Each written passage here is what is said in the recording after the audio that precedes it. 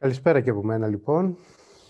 Χαίρομαι που είμαι εδώ απόψε μαζί σας. Σας ευχαριστώ για την πρόσκληση που μου δίνετε την ευκαιρία να παρουσιάσω λοιπόν τη στεγαστική πολιτική του Δήμου Θεσσαλονίκης και την προσπάθεια που κάνουμε εκεί ε, για να ιδρύσουμε ένα φορέα παροχής κοινωνικής κατοικίας. Αυτά τα πράγματα που θα σας πω απόψε για πολλές πόλεις της Ευρώπης είναι προφανώς ε, πολύ αυτονόητα και συνηθισμένα, αλλά για την Ελλάδα είναι αρκετά πρωτοποριακά, γιατί δεν έχουμε παράδοση ε, στην κοινωνική κατοικία.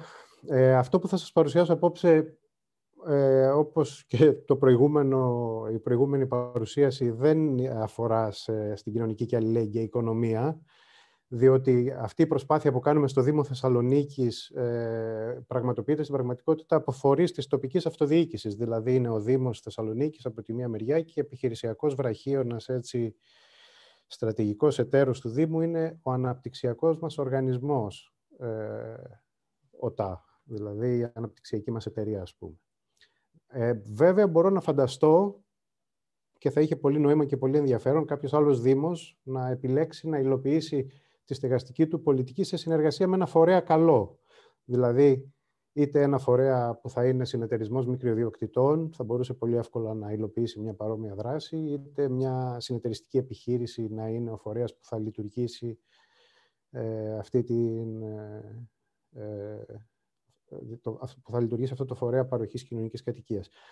Ε, θα ξεκινήσω με δύο προτάσεις που, αποτελούν, που θα ήθελα να αποτελέσουν την αφετηρία της ε, απόψινής μου παρουσίασης και που δίνουν και το στίγμα της στεγαστικής πολιτικής του Δήμου Θεσσαλονίκης.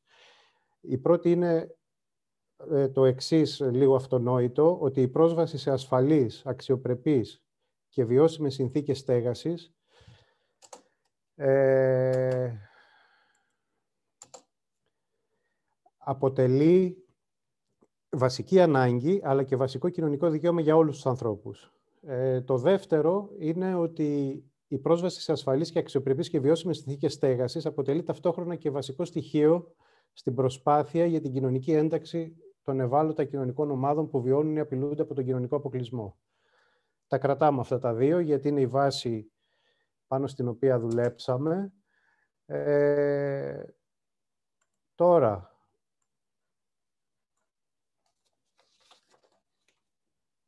ποια είναι τα... το ζήτημα της στέγασης στην Ελλάδα. Πολύ συνοπτικά, δεν θα μακρηγορήσω. Ε, μέχρι πρόσφατα το ζήτημα της στέγασης δεν βρισκόταν καθόλου ψηλά στην ατζέντα της δημόσιας συζήτησης. Θα έλεγα ότι δεν υπήρχε καν μέχρι πολύ πρόσφατα. Κυρίως λόγω του ότι έχουμε επαναπαυτεί στο γεγονός, ε, σε αυτό που λέμε συνεχώς, ότι υπάρχει μεγάλο ποσοστό ιδιοκατοίκησης στην Ελλάδα. Πολύ μεγάλο ποσοστό ε, των κατοικίων είναι ιδιόκτητες δηλαδή. Ε, δεν υπάρχουν μεγάλες εταιρείες που να διαχειρίζονται κτηριακό απόθεμα και να μισθώνουν κατοικίες. Ε, η οικονομική δραστηριότητα ήταν έντονη και το κτηριακό απόθεμα ανανεωνόταν και διευρυνόταν συνεχώς τα τελευταία χρόνια, μέχρι και το 2010 ας πούμε. Και γενικά το ζήτημα της στέγασης ήταν για την Ελλάδα μια ιδιωτική υπόθεση. Δηλαδή κάθε οικογένεια και το οικογενειακό δίκτυο φρόντιζε να εξασφαλίσει κατοικία για τα παιδιά του κλπ. Ε, πρόσφατα έχει αναπτυχθεί μεγαλύτερο ενδιαφέρον για το ζήτημα της στέγασης, γιατί επίκειται η απελευθέρωση των πληστηριασμών, ακόμη και για τις πρώτες κατοικίες, όταν βαρύνονται με μη εξυπηρετούμενα στεγαστικά δάνεια. Αλλά υπάρχει και ένας έντονος προβληματισμός, ειδικά στις μεγάλες πόλεις της χώρας, για τα υψηλά ενίκεια, δηλαδή για έλλειψη οικονομικά προσιτής κατοικίας ε, για τα νοικοκυριά που έχουν χαμηλά εισοδήματα λόγω της οικονομικής κρίσης κλπ. Εκτός από τα ζητήματα που καταγράφονται από την πλευρά της ζήτησης όμως, ε, για κατοικία, η οικονομική κρίση έχει δημιουργήσει και ζητήματα στην πλευρά της προσφοράς κατοικίας, γιατί οι πολύ περιορισμένες ιδιωτικές και δημόσιες επενδύσεις και η υποχώρηση ως καθίζηση του κλάδου της οικοδομής, ας πούμε, τα χρόνια της κρίσης στην Ελλάδα, είχαν σαν αποτέλεσμα ε, να μειωθεί η οικοδομική δραστηριότητα και να απαξιωθεί το κτηριακό απόθεμα. Δεν διέθετε ο κόσμος χρήματα για να ανακαινήσει την κατοικία, τις κατοικίες που είχε στη διάθεσή του. Οπότε το κτηριακό απόθεμα απαξιώθηκε. Ταυτόχρονα ε, η τοπική αυτοδιοίκηση έχει πολύ περιορισμένα μέσα και δυνατότητες να ασκήσει στεγαστική πολιτική, καθώς δεν διαθέτει κτηριακό απόθεμα, δεν έχει δεξαμενή ακινήτων ή τοπική αυτοδιοίκηση που να τη διαχειρίζεται ε, αυτή, ε, όπως συμβαίνει σε άλλες χώρες της Ευρώπης, και ούτε πολύ σαφή αρμοδιότητα για να ασκήσει στεγαστική πολιτική. Ε, Παρ' όλα αυτά, το ζήτημα της στέγασης σχετίζεται πολύ άμεσα με μια σειρά από αστικές προκλήσεις ε, που αντιμετωπίζουν οι περισσότεροι δήμοι. Ε, ο Δήμος Θεσσαλονίκης το έχει αντιληφθεί έγκαιρα αυτό, ότι το στεγαστικό ζήτημα είναι πολύ κομβικό για μια ισορροπημένη αστική ανάπτυξη. Αντιλαμβανόμαστε λοιπόν στο Δήμο Θεσσαλονίκης ότι η έλλειψη οικονομικά της κατοικίας δημιουργεί μια σειρά από σημαντικές προκλήσεις, τις οποίες τις βλέπουμε και στην οθόνη. Δηλαδή, ε, έχουμε πολύ μεγάλο πρόβλημα στα στεγαστικά προγράμματα που υλοποιούμε. Δηλαδή, δεν μπορείς να επιθυμείς να υλοποιήσεις ας πούμε, την προσέγγιση housing fair στην καταπολέμηση της αστεγίας και να απευθύνεσαι στο σπιτόγατο για να βρεις ιδιοκτήτες να σου μισθώσουν κατοικία, να κάνεις τις παρεμβάσεις σου. Ε, πολύ σημαντική επίσης αστική πρόκληση είναι η πληθυσμιακή συρρήκνωση του κεντρικού Δήμου, που οφείλεται σε πολύ μεγάλο βαθμό στην έλλειψη οικονομικά προσιτής κατοικίας. Ε, υπάρχει παρακμή και εγκατάλειψη γειτονιών της πόλης. Υπάρχει μεγάλη απαξίωση και εγκατάλειψη κτηριοκόπο θέματος. Πολύ μεγάλο ποσοστό των κτηρίων στην πόλη, στο κεντρικό δήμο της Θεσσαλονίκης, είναι εγκατελειμμένα κτίρια, χωρίς κάποια χρήση. Και αυτό αφορά και βιοτεχνίες που αποχώρησαν, αλλά και κατοικίες. Ε, μεγάλη μείωση της οικοδομικής δραστηριότητας και μεγάλη ύφεση στον οικοδομικό κλάδο που ήταν ατμομηχανή της ελληνικής οικονομίας και είχε πολύ μεγάλο μερίδιο στην απασχόληση και στην πόλη της Θεσσαλονίκης και πολύ μεγάλα ποσοστά ενεργειακής στόχιας. Όλες αυτές οι αστικές προκλήσεις, λοιπόν, δημιουργούν την ανάγκη ε, στο Δήμο, να, και σε κάθε Δήμο νομίζω, δημιουργείται η αναγκαιότητα για χάραξη στεγαστικής πολιτικής από την τοπική αυτοδιοίκηση. Έτσι. Ε, το τοπίο στη στέγαση αλλάζει ε, οι τοπικές αστικές προκλήσεις απαιτούν τοπικά σχεδιασμένες λύσεις. Η κάθε πόλη έχει τοπικές ιδιαιτερότητες. Η Καρδίτσα, Φερρυπίν, ε, του Βασίλη του Μπέλη μπορεί να χρειάζεται απόθεμα κατοικιών για τους εποχικούς εργάτες. Η, τα Χανιά ή το Ρέθινο ή η Ρόδος ή η Κέρκυρα, μπορεί να, που είναι τουριστικές πόλεις εννοώ, μπορεί να χρειάζονται απόθεμα ε, για να στεγάσουν αναπληρωτές καθηγητές, δασκάλους και δημόσιους υπάλληλους που δεν στεριώνουν αυτές οι πόλεις γιατί δεν μπορούν να βρουν προσιτή κατοικία. Η κάθε πόλη έχει τις τοπικές της ιδιαιτερότητες. Επίσης, τα προβλήματα είναι δομικά και απαιτούν δομικές λύσεις. Δεν αρκεί δηλαδή να κάνεις ένα γραφείο έβρεσης κατοικίας και να διευκολύνεις τους κατοίκους και να διασυνδέεις την προσφορά με τη ζήτηση και τέτοιες soft δράσεις. Είναι δομικά προβλήματα και απαιτούν δομικές λύσεις. Ε, και απαιτούνται φυσικά επικαιροποιημένα στοιχεία τόσο για την προσφορά όσο και για τη ζήτηση κατοικίας και πολύ εστιασμένες δράσεις προς αυτή την κατεύθυνση.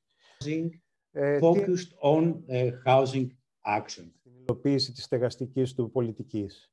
Ε, προκειμένου να αντιμετωπίσει αυτές τις αστικές προκλήσεις που ανέφερα παραπάνω. Ε, καταρχήν, ανέδειξε τη ΜΑΘ, την ε, αναπτυξιακή μείζωνας αστικής Θεσσαλονίκης ΑΟΤΑ. Δεν ξέρω τώρα οι άνθρωποι που προσπαθούν να μεταφράσουν πώς μπορούν να το μεταφράσουν αυτό. Είναι ένας αναπτυξιακός οργανισμός της τοπικής αυτοδιοίκησης. Ένα ε, development agency, ας πούμε. Ε, το, ανέδειξε λοιπόν τη ΜΑΘ σε στρατηγικό του εταίρο και σε βασικό επιχειρησιακό βραχίωνα για το σχεδιασμό του, της ε, στεγαστικής πολιτικής, αλλά και για την υλοποίηση της στεγαστικής πολιτικής. Εδώ εξετάσαμε διάφορες πιθανότητες και εδώ είναι που είπα ότι μια άλλη πόλη μπορεί να έχει κάποιο άλλο κατάλληλο βραχίωνα και αν δεν έχει θα μπορούσε να είναι ένας φορέας καλό αυτός ο βραχίων. Ε, από κοινού λοιπόν με τη ΜΑΘ ε, σχεδιάσαμε μια έρευνα πεδίου ε, στην αγορά κατοικίας, η οποία έγινε σε συνεργασία με μια ερευνητική ομάδα κατά βάση του Τμήματος Μηχανικών Χωροταξίας και Ανάπτυξης στο Απιθύτα, που όμως πλαισιώθηκε και από άλλους επιστήμονες. Ε, και έδωσε πολύ ενδιαφέροντα συμπεράσματα, τα οποία αξιοποιήθηκαν μετά στην εκπόνηση του σχεδίου δράσης μας. Ε, αξιοποίησε εθνικούς και ευρωπαϊκούς πόρους. Ε, είμαστε πολύ online με όλες τις διαχειριστικές αρχές για να κάνουμε mainstreaming ε, την πρότασή μας και το μοντέλο μας και στο ECT Plus για τη λειτουργία του φορέα και στο ΕΤΠΑ, το ERDF, για, να, για το κομμάτι της ανακαίνησης των, των κατοικιών. Ε, ήδη έχουμε ένα εγκεκριμένο πιλότο στο RRF, στο Ταμείο Ανάκαμψης, και θα αξιοποιήσουμε για την ανακαίνιση των ακινήτων και πόρους που, είναι, που προκύπτουν από την ενεργειακή αναβάθμιση ακινήτων κλπ. Έχουμε συνεργασία με ποικίλους φορείς χρηματοδότησης επίσης, που έχουν χρηματοδοτήσει κομμάτια αυτού του σχεδίου δράσης, ανάμεσά τους και το Heinrich Bell, που είναι συνδιοργανωτής και στην απόψινή εκδήλωση. Ε, και έχουμε, ε, είμαστε σε συζητήσεις με το Υπουργείο για να κάνουμε mainstreaming, ας πούμε, την ε, πολιτική μας και στην εθνική στεγαστική πολιτική, γιατί αν δεν γίνει αυτό, προφανώς δεν μπορούν να υπάρξουν μετά να ακολουθήσουν και χρηματοδοτήσεις. Δύο λεπτά δεν ακολουθώ την, ε, ναι, δεν ακολουθώ το ρυθμό της συζήτησης, της εισήγησης που είχα συντάξει για να είμαι εντός χρόνου. Ε, τώρα, συγκεκριμένα το σχέδιο δράσης του Δήμου Θεσσαλονίκης, το οποίο υλοποιείται στο πλαίσιο ενός ε, έργου ε, που λέγεται ROOF και χρηματοδοτείται από το Airback 3, είναι ένα συμμετοχικό σχέδιο δράσης, όπως προβλέπει άλλωστε η μεθοδολογία του Urbact, στο οποίο ε, και έχουμε συστήσει μια τοπική ομάδα στην οποία συμμετέχουν πολλοί τοπικοί φορείς με εξειδίκευση στη στέγαση και στην καταπολέμηση της αστεγίας. Προβλέπει κατά βάση στον πυρήνα του την ίδρυση και τη λειτουργία ενός φορέα παροχής κοινωνικής κατοικίας και αποσκοπεί στη δημιουργία μιας δεξαμενής ακινήτων, την οποία θα διαχειρίζεται αυτός ο φορέας, με σκοπό να προσφέρει οικονομικά προσιτή κατοικία και κοινωνική κατοικία στην πόλη της Θεσσαλονίκης, αξιοποιώντας το υφιστάμενο αναξιοποίητο κτηριακό απόθεμα που υπάρχει στην πόλη αυτή τη στιγμή.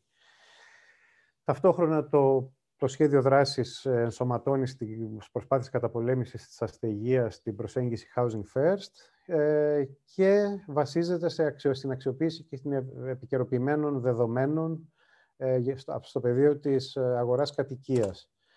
Ε, και πάμε τώρα στο φορέα παροχής κοινωνικής κατοικίας, στο Social Rental Agency, ας πούμε, που θέλουμε να δημιουργήσουμε.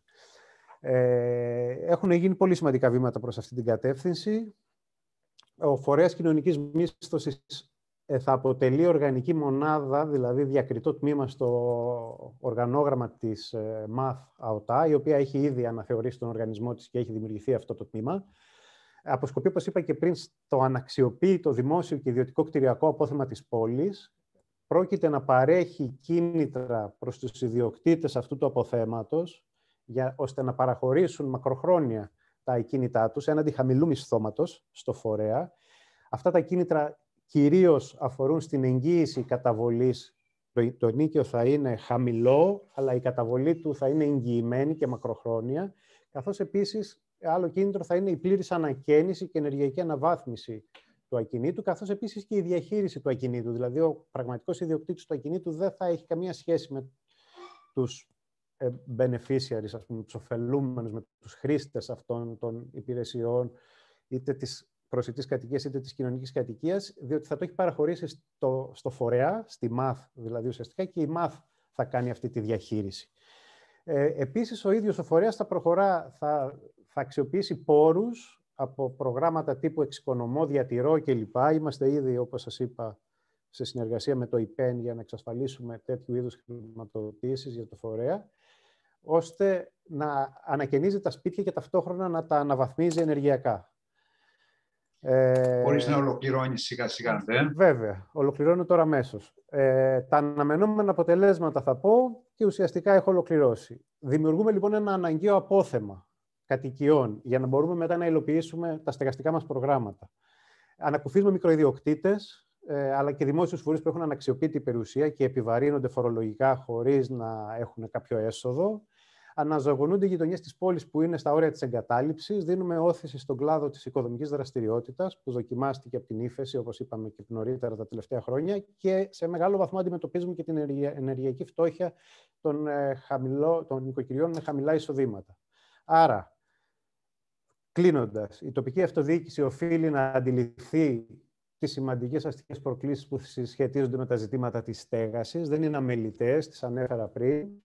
Και να φτιάξει ένα μέτωπο μαζί με την κοινωνία των πολιτών, την ακαδημαϊκή κοινότητα κλπ. Από την πλευρά μας, λοιπόν, να αναδείξουμε την κατοικία ως κοινωνικό δικαίωμα. Γιατί είμαστε σε μια μετάβαση και τα, ειδικό, τα ιδιωτικά συμφέροντα καιροφυλακτούν Και πρέπει να διατηρήσουμε λοιπόν την κατοικία κοινωνικό δικαίωμα και όχι ως εμπόρευμα ή κερδοσκοπική επένδυση. Αυτά είχα να σας πω. Σας ευχαριστώ και είμαι στη διάθεσή σας για να συζητήσουμε οτιδήποτε θέλετε